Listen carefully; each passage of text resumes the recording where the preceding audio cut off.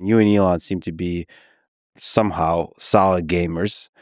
Uh, is there a connection between being great at gaming and and uh, being great leaders of AI companies?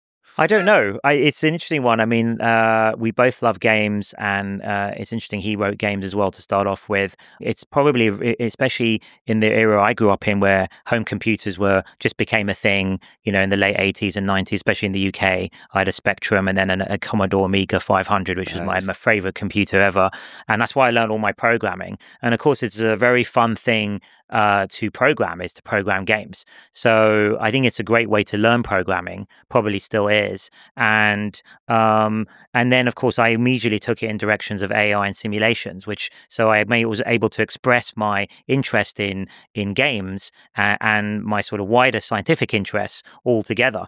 And then the final thing I think that's great about games is it fuses um, artistic design, you know, art with the the the most cutting edge programming.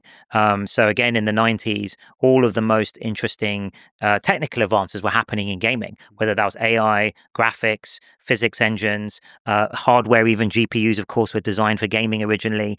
Um, so everything that was pushing computing forward in the in the 90s was due to gaming. So interestingly, that was where the forefront of research was going on, and there was this incredible fusion with with art, um, you, you know, graphics, but also music and just the whole new media of storytelling. And I love that. For me, it's this sort of multidisciplinary kind of effort is again something I've enjoyed my whole my whole life.